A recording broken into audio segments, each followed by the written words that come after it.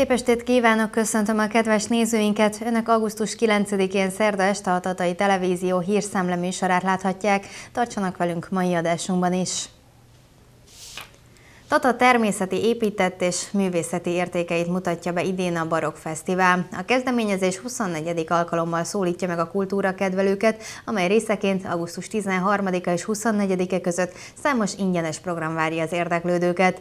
A rendezvényről a Tatai Vár lovagtermében tartottak sajtótájékoztatót, ahol Mikhű József polgármester is köszönetet mondott a szervezőknek. Valóban úgy van, hogy a fesztivál szervezők, mert hogy nagy részét nem a város találta ki, hanem valaki jelentkezett egy jó ötlettel, sőt, megvalósult az is, hogy az a bizonyos mondás, hogyha megcsinálod, meg lesz. Vagyis, hogy az a jó, ha mindenki a maga találmányának az ászlóját viszi, és gondoskodik annak a folyamatos megszervezéséről.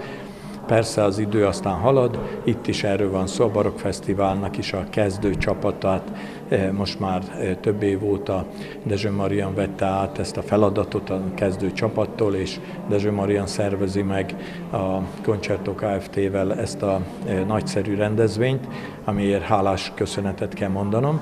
Tata városa anyagilag támogatja ezt a rendezvényt, és az a pénz, amit mi erre adunk, az azt is jelent, és azt is alá akarja támasztani, hogy itt egy réteg fesztiválról van szó, ha szabad ezt a fogalmat itt használni, vagyis, hogy hát nem annyira populáris, nem annyira érdekel mindenkit, mondjuk a barokk világ és annak a történelmi művészeti, képzőművészeti háttere, de mégiscsak úgy sikerül minden évben megszerveznünk ezt a barokk fesztivált, hogy kicsit becsempészük oda a mai kort is persze, és azokat az embereket, akik ma élnek. Úgyhogy én nagyon jó szívvel hívok mindenkit, és várok mindenkit erre a gyönyörű hétre. Szerintem mindenki talál benne magának valami szépet.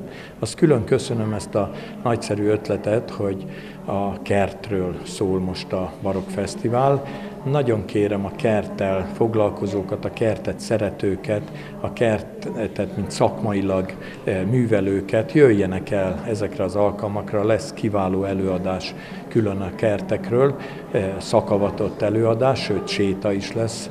Kövesdi Mónikával utána, és ugyanígy egy nagy öröm az is, hogy ennek a hétnek a keretében nyitjuk meg azt a kiállítást, amelyet a magyar kormány támogatott, és a Magyar Géniusz címet viseli, a tatai géniuszokról, papok, katonák, polgárok, Tata fejlődésében, városépítésében című kiállításra, amely a Várban nyílik meg 19-én 17 órakor, ahova pedig a történelm tanárokat nagy-nagy szeretettel hívom és várom a városból, és természetesen mindenkit, aki érdeklődik és aki szereti a felmenőinket, az őseinket, azokat a nagyszerű tataiakat, akik olyat alkottak a városunkért, amiből mi ma is élni tudunk. Hét vár ránk, aki csak teheti, sok-sok alkalomra eh, jöjjön el az idei barokkfesztiválon.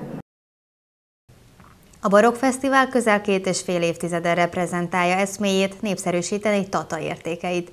Ehhez kapcsolódva a város történelmi épületei adtak helyszínt a különböző programoknak, idén azonban a szabadtéri helyszínek is fontos szerepet kapnak. Dezső Marianna, a Concerto Non-Profit Kft. ügyvezető igazgatója kiemelte a kezdeményezést, mert 17 éve kíséri a Schiffer Ervin nemzetközi zenei mesterkurzus is, így idén közel 50 növendék is közreműködik az eseményeken.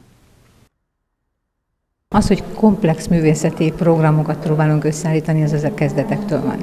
A másik ilyen fontos alaptétel, hogy mindenképpen a helyi itt élő művészek, képzőművészek, zeneművészek, a művészeti területek minden területén itt dolgozó kollégák itt legyenek a fesztiválnak a műsorában. És hát a harmadik fontos dolog, hogy legyen természetesen egy, egy nemzetközi kisugárzása is a, a történetnek, tehát nemzetközi hírű művészeket is hívunk.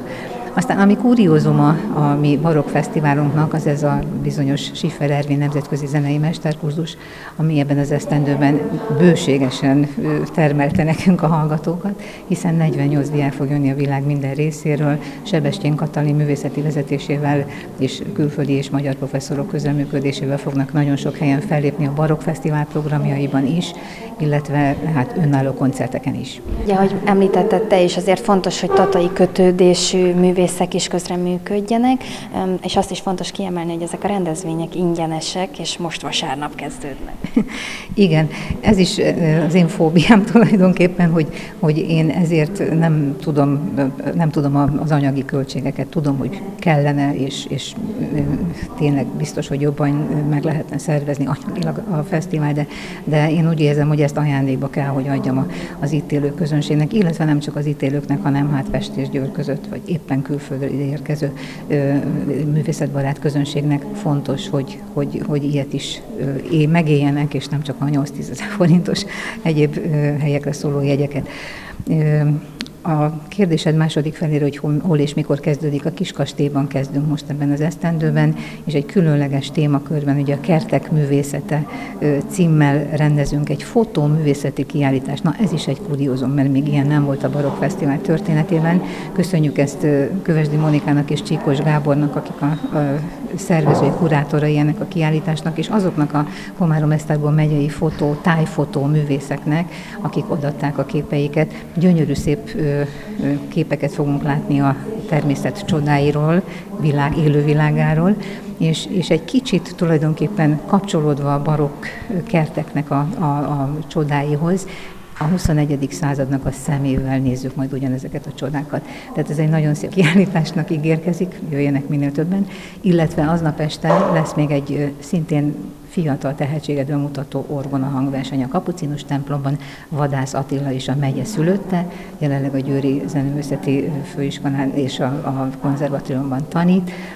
Nagy szeretettel várjuk őt, biztos, hogy egészen szép barokk és egyéb zeneszerzők műveit fogja majd játszani. Mennyire szempont az a program megálmodásakor, azon túl, hogy helyi művészek is bemutatkozzanak, hogy legyenek visszatérő fellépők, illetve új arcok is? Hát ezt mindig válogatja egy adott téma, amit, amit, ami fontos számunkra. Hát most ez a kert művészet és, és a természet körül ölelő csodái adták az ötleteket és, a, és az irányvonalakat. Ehhez kapcsoltuk az összes többi kiállítást és, és előadást illetve hát a zene az mindig önmagáról beszél, a barokk művészet az nincs zene nélkül, hiszen az egyik leghíresebb korszaka volt a zenetörténetnek a barokk zene, úgyhogy azok, akik ezt művelik az eredeti hangszereken, és ö, képesek arra, hogy jöjjenek, azokat hívjuk ilyenkor. Például a Haydn Bariton Trio Budapestről Kakuk Balázs vezetésével eredeti originál hangszereken. Vagy például Szecsődi Ferenc Lizdíjas érdemes, kiváló művész, hegedűművész, a Szegedi Egyetemnek a tanszakvezető professzora, ő a barokk virtuózitást fogja nekünk bemutatni azoknak a barokk virtuóz zeneszerzőknek a műveit, akit, akit ő úgy játszik, mint senki más. Én őt mindig egyébként a magyar Paganininek emlegetem, mert, mert egyszerűen elképesztő virtuózitással rendelkezik, és így tovább. De mindig fontos számunkra az, hogy a helyi művészek, a helyi előadó művészek is itt legyenek, például a két kórus a városnak, aki már rengeteg rangot és hírnevet szerzett ennek a pici kis városunknak, Tatának, az Egresi kórus és kamarakórus Robozni Sönfeld Zsuzsi vezetésével és az Eszterházi énekegyüttes Schmidt Monika vezetésével, akik szintén itt vannak és és jelen vannak ebben a dologban. Aztán visszatérve egy kicsit megint a világhírű muzsikusokra, a Voice and Brass együttes fog majd még itt szerepelni a Tatai Vár udvarán, ahol egyébként a barokk udvari mulatságokat is megszervezzük, és ide viszont a helybéli művészeket várjuk, iparművészek, képzőművészek, kép, kézművesek fognak jönni, és bemutatják a tényleg csodálatos alkotásaikat, csupa olyan dolog, ami, ami a szemünknek, úgy, úgy, ahogy a kertjeink és a természet örömet és, és megelégedést fognak okozni, és hát ehhez járulnak azok a színpadi produkciók, amik itt a várban majd még zajlanak.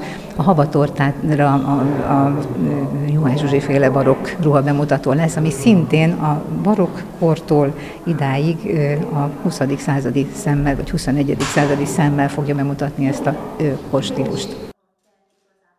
A Kunidomokos Múzeum szinte a kezdetektől fontos szerepet vállalt a Barokk Fesztivál megvalósításában. A helyszínbiztosítás mellett az intézmény munkatársai is közreműködnek a népszerűsítésben és a programok megszervezésében.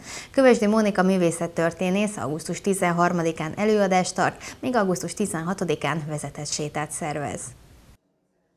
Tata, a vizek és kertek városa, így emlékeznek meg a városról a régi városleírások, a 18.-19. századi útleírások, és elhangzik több idézetet is tudnánk idehozni.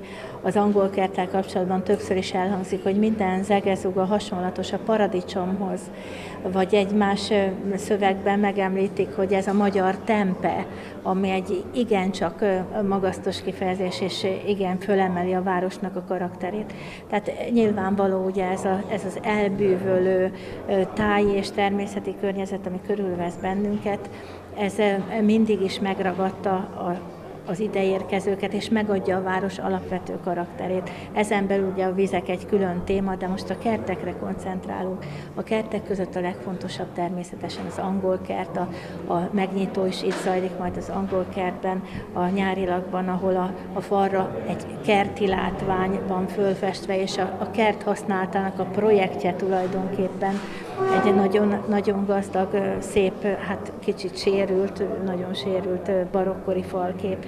És hát egyébként pedig érdemes a kertekről szólni mindenképpen, hiszen a baroknak az egyik különleges és fontos tevékenységi területe a kertépítészet, amikor a, a kertek tervezése egyenrangúvá válik a, a kastélynak a tervezésével, és amikor a, a barokk főurak versenyeznek a, a kastélykertjeik kell egymással, csodálatos kertek, amelyek ma már sajnos nyomokban is ritkán láthatók, ugye itt sérül a legtöbbet ez a 18. századi projekt, de mindenképpen a barokk az akkor, amikor a, a kertművészet valahol a csúcsain jár, beleértve azt az átrendeződést is, ahogy a barokkert, ez a nagyon-nagyon tervezett, nagyon-nagyon manipulált táj átadja a helyét a, a felvilágosodás, a szentimentalizmus, eszméit leginkább tükröző és egy sokkal lágyabb tájfelfogást mutató angol kertnek. Ez a teljes folyamat a 18. század, a barokk és a késő barokk időszaka. Ezekről lesz majd szó a Barokk Fesztivál alatt ismétlődő módon többször is. És hát veled is többször találkozhatunk a fesztivál részeként, ugye a vezetett sétával és előadást is hallhatunk tőled.